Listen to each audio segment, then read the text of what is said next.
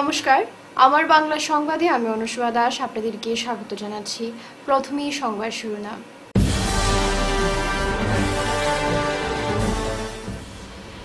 Cancer care ফাউন্ডেশনের প্রতিষ্ঠা দিবস, ব্রেস্ট ক্যান্সারের গুরুত্ব।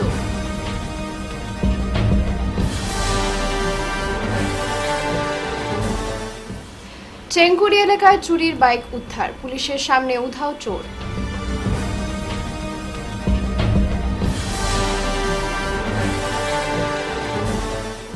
চার দিনের রবীন্দ্র জয়ন্তীর আয়োজন, উদ্যোক্তা শিবালিক পার্ক কমিটি।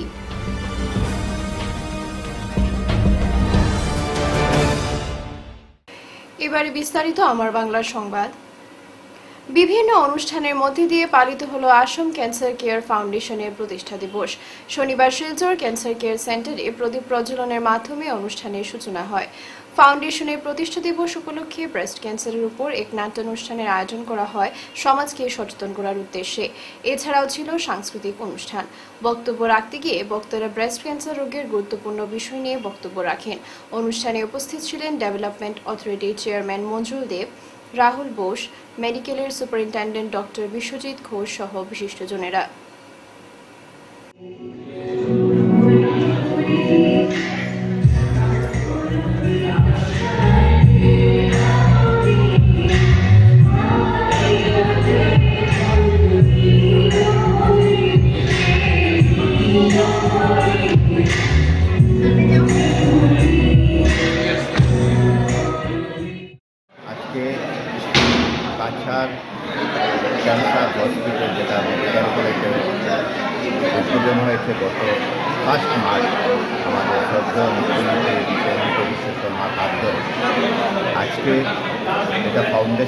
ছিল। আসামে টাটা কেয়ারের সাথে সম্মিলিত হলে Assam care cancer care foundation যে প্রকল্প হাতে নিয়েছে তার ফাউন্ডেশন ডে, দু বছর আগে ডিব্রুগড়ে সেটা স্টার্ট হয়েছিল। আজকে শিলচারে সেই প্রোগ্রামে স্টার্ট ফাউন্ডেশন ডে প্রোগ্রামে উপস্থিত হয়ে আমি খুবই আনন্দিত। অত্যন্ত কালারফুল উৎসব হয়েছে প্রোগ্রাম হয়েছে এবং ক্যান্সারকে কীভাবে আহ, তার আর্লি স্টেজে আর্লি স্টেজে কীভাবে সেটাকে ইয়ে করা যায় করা যায় তার ব্যবস্থা করা হয়েছে। আমরা ফিউচার ডেভেলপমেন্ট অথরিটি এই বিল্ডিং যখন বানানো হয় এই বিল্ডিংয়ে প্রায় ছ লাখ টাকার উপরে রেভিনিউ আসছিল, কিন্তু যেহেতু সমাজের স্বাস্থ্যে এই হসপিটাল হচ্ছে, তার জন্য আমাদের ডিপার্টমেন্ট সেই টাকা সম্পূর্ণ মুকুব করে দেয় ক্যান্সার হসপিটালের এই সমাজের এবং আমার বিশ্বাস যে আগামী দিনে তার প্রসার আরও হবে আর আমাদের এই অঞ্চল থেকে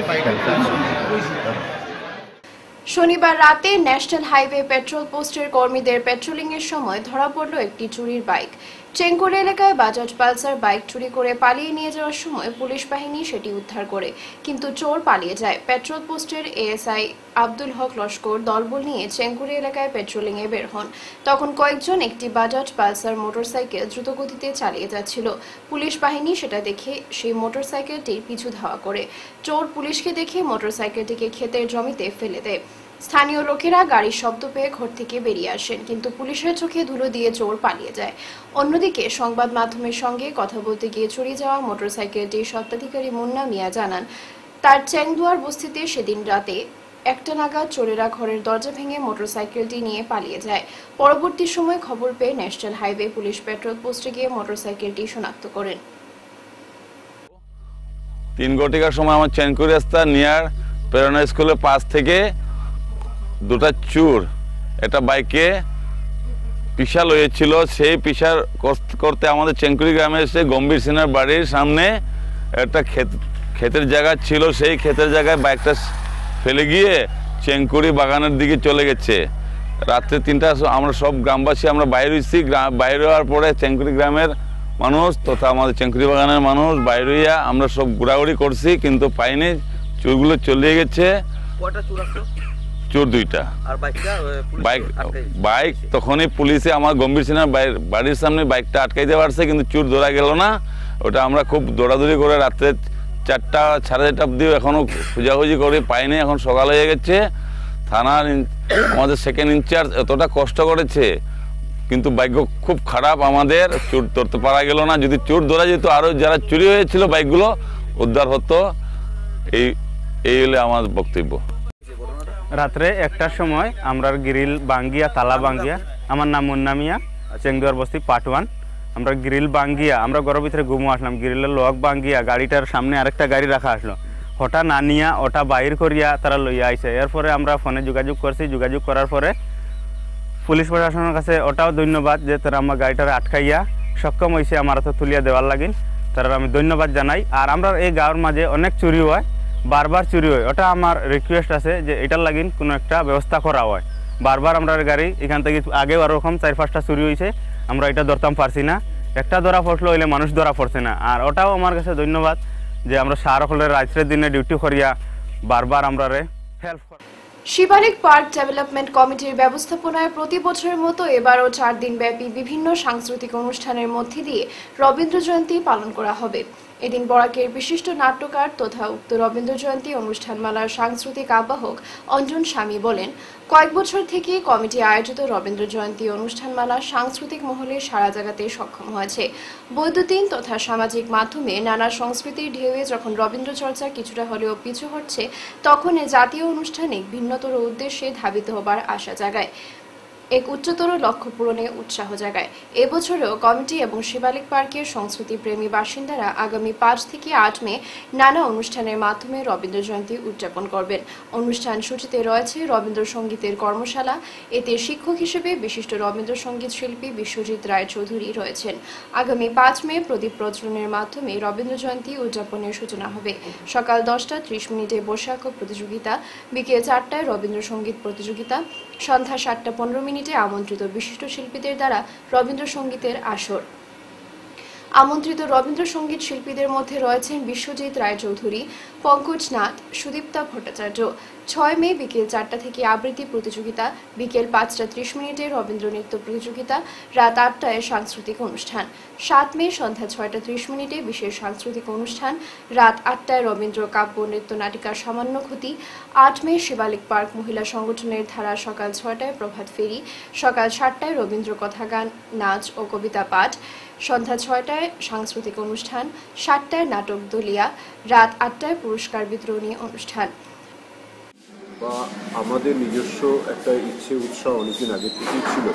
সেই থেকে আমরা প্রতি বছরই এখানে রবীন্দ্র জয়ন্তী পালিত হয়। কিন্তু গত কয়েক বছর ধরে আমরা একটু বেশি মানে বড় সমারোহ করে আমরা করছি। অন্তত চার পাঁচ দিন জুড়ে আমরা রবীন্দ্র জয়ন্তী পালন করছি আমার মনে হয়। শিলচর শহরে বোধ হয় কোথাও এত বড় করে বা দীর্ঘদিন ধরে রবীন্দ্র জয়ন্তী পালন করা হয় না। এটা একমাত্র উদ্দেশ্য কয়েকটি উদ্দেশ্য হয়তো সাধন হবে। একটা হচ্ছে যে এখানে যারা শিলচর শহরতলি বা এমনকি করিমগঞ্জ থেকেও যারা যারা রবীন্দ্র গান, নাচ আবৃত্তি করে, তারা এখানে একটা প্রতিযোগিতার সুযোগ পাবে। এছাড়াও আমার মনে হয় এটা এক ধরনের সাংস্কৃতিক আন্দোলন।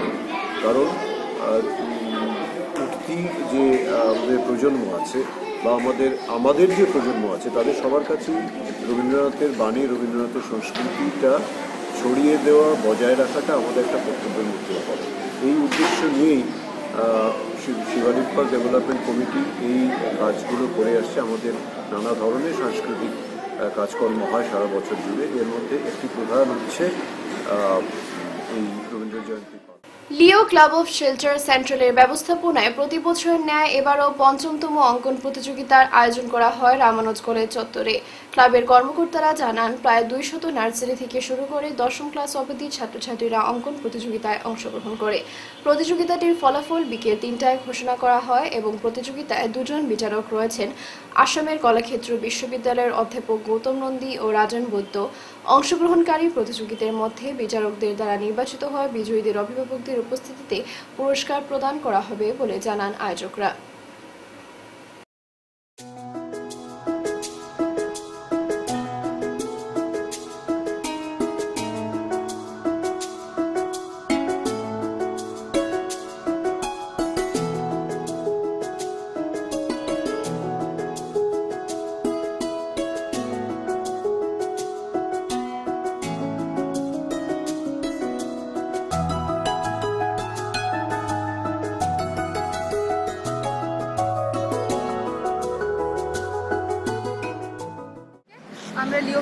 লিও সেন্টারের পক্ষ থেকে কালাকিট সব বছর আমরা একটা অনুষ্ঠিত করে থাকি একটা আর্ট কম্পিটিশন এটা আমাদের পঞ্চম বা এটা আমরা করছি রামানুজগুপ্ত ডিগ্রি কলেজে। এখানে nursery to class ten students participate করেছে এবং নিয়ার অ্যাবাউট আমাদের to to hundred plus students সবগুলো গ্রুপ নিয়ে হয়েছে। আজকেই আমরা তিনটে থেকে পুরস্কার বিতরণী ইভেন্টটা রেখেছি। সেটার মধ্যে আমাদের দুজন জাজ রয়েছেন। দুজনই আসাম ইউনিভার্সিটির ওরা এসে ওরা যা ডিসিশন দেবে, সেটার অনুযায়ী আমরা গার্জেনদেরকে ফোন করে ইনফর্ম করব এবং তিনটা থেকে এখানে এই অনুষ্ঠান অনুষ্ঠানটা রবিবার দ্রুতগতির ঝড়ে কাছাড় জেলার বিভিন্ন এলাকায় ব্যাপক ক্ষয়ক্ষতি হয়েছে। ঝড়ো হাওয়া ও পাথরের আঘাতে অনেক বাড়ির ছাদ উড়ে গেছে। বিদ্যুতের লাইন ভেঙে যাওয়ায় শহরের বিভিন্ন এলাকায় অন্ধকার নেমে এসেছে।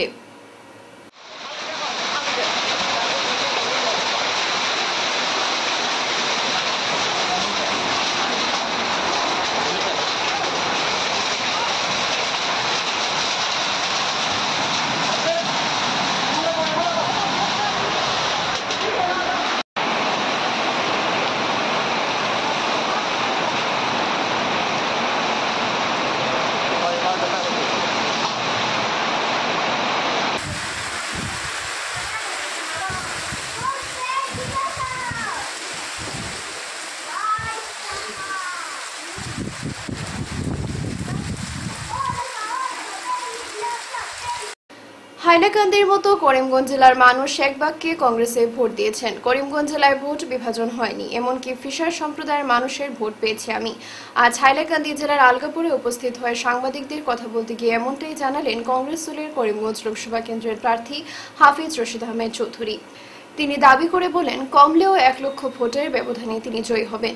ভোটারদের ধন্যবাদ এবং কৃতজ্ঞতা জানাতে আজ হাইলাকান্দি উপস্থিত হন হাফিজ রশিদ আহমেদ চৌধুরী। বিভিন্ন স্থানে গিয়ে জনতার সাথে দেখা করে ধন্যবাদ জানান তিনি। আলগাপুর রাজীব ভবনে কংগ্রেস কর্মীরা উষ্ম অভ্যর্থনা জানান দলীয় প্রার্থী হাফিজ রশিদ আহমেদ চৌধুরীকে। আমি আজকে ইলেকশনের পরে মানুষের ধন্যবাদ দেওয়ার লাগাইছে মানুষের বহুত কষ্ট করছেন, বহুত সাহায্য সুবিধা করছেন, বহুত আর চিনিও না, যে ইতেও পারি না এর পরেও মানুষে কিন্তু নিজের ভাবিয়া সবে ইলেকশন সাহায্য করছে। আমি আজকে ধন্যবাদ জানাতে আইছি সমস্ত এলাকাবাসী বিশেষ করে আলগাপুরবাসী আমি ধন্যবাদ দিয়ার যে সবাই নিজের ইলেকশন মনে করিয়া সবাই ইলেকশন চেষ্টা করছে খাটছে আমি আশা করি উপকারে তাদেরকে প্রতিদান দিবা। আমি তো কি প্রতিদান দেবো? নিশ্চয়ই উপকারে প্রতিদান দিবা। এবং আমি আশা করি মানুষের যে সহযোগিতা পাইছি এই সহযোগিতা নিশ্চয়ই আমি বিপুল পরি জয়লাভ করব। কত হাজার দিবার মিনিমাম দেড় থেকে দুই লাখ টাকা আমি আশা করি দেড় থেকে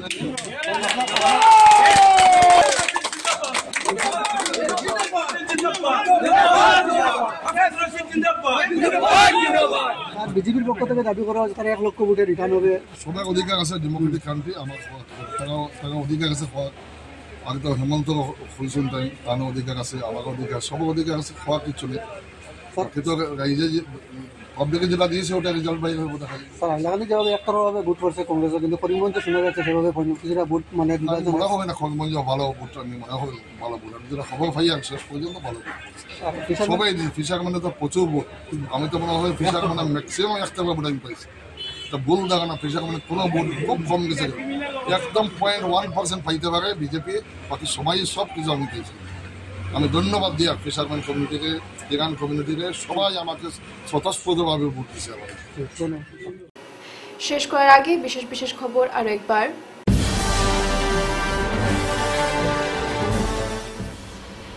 ক্যান্সার কেয়ার ফাউন্ডেশনের প্রতিষ্ঠা দিবস ব্রেস্ট ক্যান্সারের গুরুত্ব।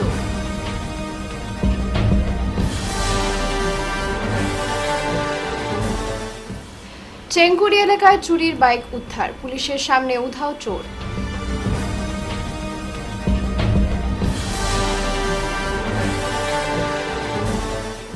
চার দিনের রবীন্দ্র জয়ন্তীর আয়োজন, উদ্যোক্তা শিবালিক পার্ক কমিটি।